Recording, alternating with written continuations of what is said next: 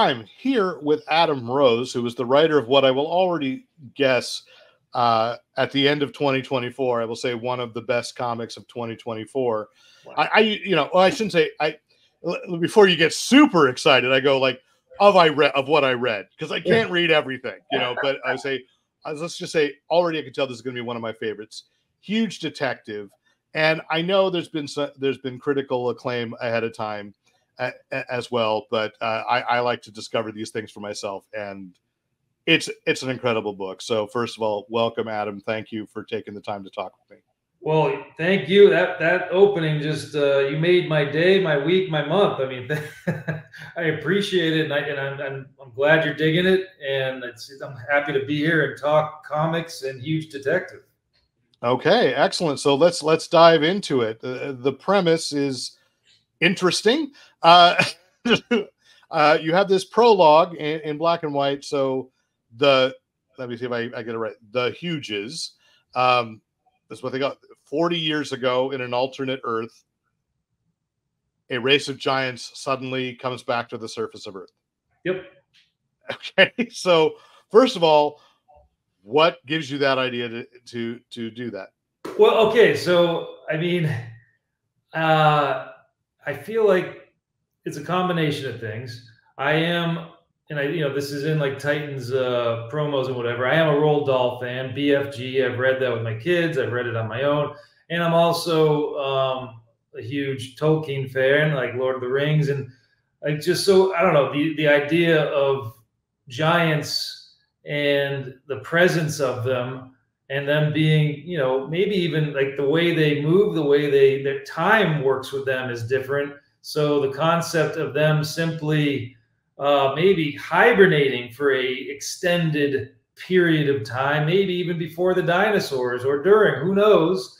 Uh, that's kind of where that came from. I was like well why couldn't they suddenly have been woken up by us by humans or as they would refer to us in their slang, uh, dolls or beings.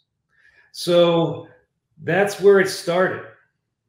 And you've really worked out an interesting. Before we get to that, that this is essentially a murder mystery. You've worked out an, you know, you've built out an interesting world. So they, all of Australia has been abandoned by the dolls, right? Uh, so that the huge can live there. I've never been to Australia, but I'll assume that is true. That it is big enough for for their nation. That was, and I did give that a lot of thought. And obviously, population uh, is something that I even I thought about all this stuff. So, I mean, there it's certainly there are not millions of huge, but I'm not going to uh, give you a number. And I did, you know, also if you notice, there are, you know, just like in any person who has a home, they're not all going to leave willingly so there are still Australians burrowed deep into um, their home and not leaving and not acknowledging it as Bog, which uh, is my uh, Gulliver's Travel uh, nod. And you know, I, I, will say this too that um, when the slang again another slang term used for this, like you know, they, or the reference to them as being Aussies that had to leave. I do acknowledge and understand Australians, and a few people have told me this, and I don't want that. I this is like like a perspective not from an Australian. I understand that they don't call themselves that, but it's like more of like like the Western news or something, kind of making these these these uh, comments. So yeah, the Australians are mostly all gone, and now there are like little Australias, the way we have like um, Chinatowns or little Italies uh, here and there for their communities to stay connected. And you know, there's there's we had no choice. The huge and the humans knew we had mutual assured self-destruction because yes, they are gigantic. They're the size of skyscrapers, but they acknowledged and realized that our uh, nuclear weapons could destroy the planet they need to live on. It's an interesting take because in so many ways they seem so peaceful, and yet it, it still has to be a sense of detente. Uh, so you're making a comment on human nature, and obviously they, you have a detective among the huge, and and a weird. Uh, what I love is in issue in just one issue. I'm I've got so many questions about everybody culturally. Like there are trading cards. And uh, now that you've mentioned the Tolkien thing, and I always think I don't know why this one always stuck with me, but uh, from the Chronicles of of uh, Thomas Covenant, the Unbeliever, Saltheart Foamfollower, the the the seafaring giants, and, and that's kind of how your naming convention has gone. And uh, you know, kids are fa- are fans. This does open with someone who is suffering from psychosis that they think they are a huge, but they are a human and the lengths you've gone to to to support that psychosis in a way is is fascinating. And I appreciate you saying that because I mean I did. I, I, put a lot of thought into this and I want to be respectful of anybody that's dealing with any kind of uh, psychological differences challenges if you will. Um, I don't go out and spell out exactly what's going on with Manny and there's there are multiple reasons for that for the storytelling. Like there's there are things that are going to be uh, revealed uh, in the upcoming issues about manny about detective giant and uh, a character um, that you'll be seeing a lot more of soon in issue two. So it's yeah the, the the building of the characters the building of the world it all connects as far as the the wounds that are felt by um, what happened in the omega event 30 40 years ago and even to people that are younger that maybe weren't um, like adults at the time, but what happened to their parents or their parents' parents.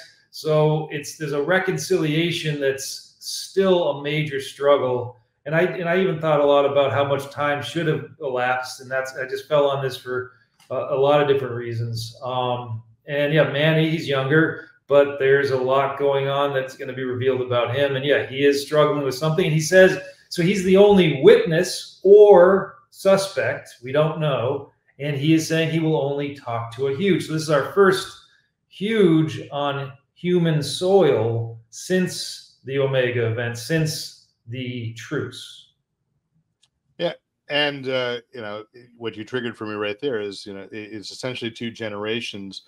And as we face, like our major event here, you know, 9 11, a whole generation now has come and gone and for eh, we're not gone. We're hey, we're all still here, but but that there are uh, you've got people like Manny who don't remember a world without them, without the Huges, right? That's right, exactly, and that's why um, you'll see his affection and how some people like Detective Tamaki. You'll see why they are deeply um, troubled but they're also understanding they need to have this cooperation to solve these horrific crimes. Yeah. Now, when you're writing this and, and working with your artist uh, Magenta, I I can't remember if there's a second if there's a Magenta surname. Okay, uh, so I apologize. I did not get to go back into my into my copy to to reread. Uh, so so many times people you know deal with like closest thing I can think of is you know like kaiju and so forth is is getting that perspective correctly. If you have it all like worked out that they are exactly this tall, this huge? This is how they would be up against this thing, this thing, and this thing. Because I've seen way too many movies in particular where it seems like, wait, wasn't he smaller than that, or wasn't he t- bigger than that? And you you've got a remarkable consistency a no, frightening no. consistency. Again, Magenta is a genius of an artist, and he is my partner on this. And we have talked extensively about even down to like what Detective Giant wears. If you look closely, you will see it isn't, you know, because someone could question, well, how could he have a tailor? Well, if you look closely, and we talked even sp- the specifics of what he is wearing, it, we we imagine like getting like old used sails of boats perhaps that were stitched together or other lo- like gigantic kind of manufacture factory level uh, fabrics for him to patch together this form. Um, and yes, the scale is something. You know, that's I love comic books so much. I mean, I've been reading them since I was ten, and I just the, this is such the perfect form to play with and push a panel to really show you perspective and point of view. And we talk about it all the time and how, like, for one panel, it might seem cramped and trapped for a detective giant, but then you pull out and you see Tamaki or some other human, you're like, oh my gosh, that's a very spacious area for one of us. So it's always like kind of that tug and pull that um, only I think you can find and have so much fun with in a comic. And do you think in your in your world building, did uh, did the Huges have detectives, or are they taking uh, from our culture, understanding who we are, and creating societal roles similar? You are you're reading my mind because that what you just said is something I thought about there too, and it, that's how I, I'm playing this without giving away too much because there uh, not only in the act in the main comic there are case files um, that Titan was generous enough to let me have in there, like little kind of like a short story, but you know, they're case files for Detective Giant and perhaps other characters at the end of each issue, where yes, it is kind of uh, inferred that maybe they are the, huge are appropriating or taking from our culture. And the way I looked at that was as an olive branch. Like maybe we're not all together uh, physically, um, but maybe these are little ways to show patching things up, um, as well as the fact that you may have uh, noticed or not, like, you know, we had a, this fun with this one panel or a couple panels where, you know, the huge are permitted to be um, transportation uh, on the oceans for humans. Yes, I found that fascinating and was trying to figure out again, like, well, how does that work? You know, it's kind of like, uh, and, and it, and yet there is this interesting sense of in a way the huge are perfectly alien. And you you know that this is uh, that this is a veneer they put on. I, i'm fascinated by the detail and it's not a spoiler that they speak to each other telepathically. And so that's kind of interesting because i would also imagine his voice has to be like this boom or really trying to be small. You know I just think it's so well thought out. Uh, no, I, I, and I appreciate you bringing up the voice because I thought a lot about that. Uh, as far as yes, to, to, to, with each other, it is telepathic, and it hurts uh, uh, for him to have to speak out loud. Like so, the effort it takes to speak to a human out loud, like the way we are talking right now, is the biggest compliment to them because it is creating pain for a huge to do it. For them to talk to us hurts um, not to mention, and there are um, still huge that remember the Omega event, and they did not, they were not adverse to a human snack like a bag of potato chips or peanuts. Oh, oh that's clear. I mean, you've got a, a scene with a with a human zoo that I was like horrified, and yet yes, I could see people doing that. I, I, I don't want to spoil too much. Uh, I just uh, assume that you've got a few arcs worked out because you've thought out this world too well and, you know, to just be six issues and done. And, and five issues. I, five issues. And I don't want to know everything about them in five issues. I want to keep going. So I'm going to circle back to one question. You, you know, you said you you've been reading comics since you were 10 years old. So what was the comic that did it for you that made you the lifelong fan?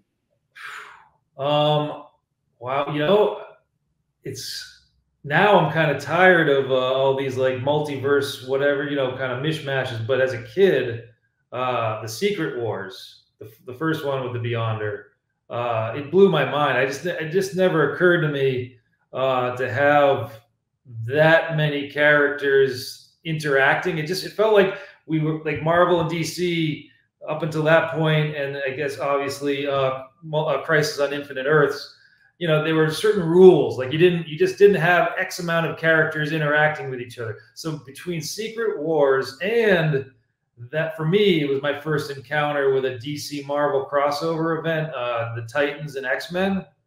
Um yes i just found my copy like a month ago and i was so excited that i found it because that was that incredible. blew my mind. So those two as far as early early mind blowers and then as i got a little older um where I just then it became like, oh my gosh, I can't believe storytelling of any form. Forget about comics, but that it is in comics. Uh, Watchmen and uh, The Dark Knight Returns. Like you know, both. I think I've read them like almost back to back, and because it was like only they only were separate by like a year or so, right? Uh, yeah, and Watchmen took a while. I mean, I think they overlapped a little yeah. bit as well.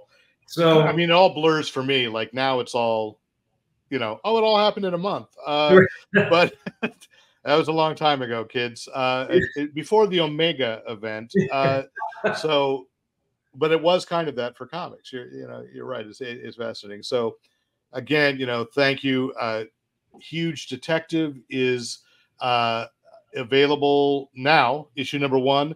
Issue number two should be hitting. I'm trying to do time math.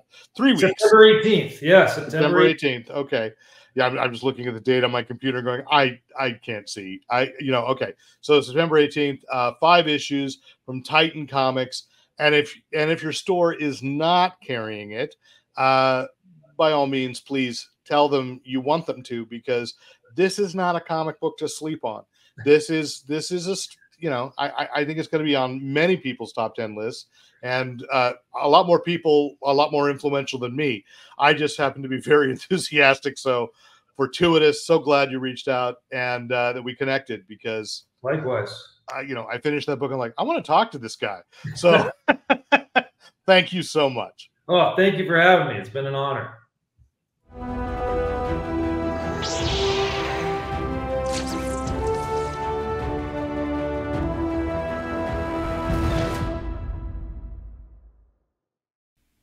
Thanks for watching. Please hit the subscribe button to make sure you don't miss out on any Fanboy Planet video content. And visit fanboyplanet.com for other features, reviews, interviews, previews, and of course, listening to the Fanboy Planet podcast. And remember, use your powers for good.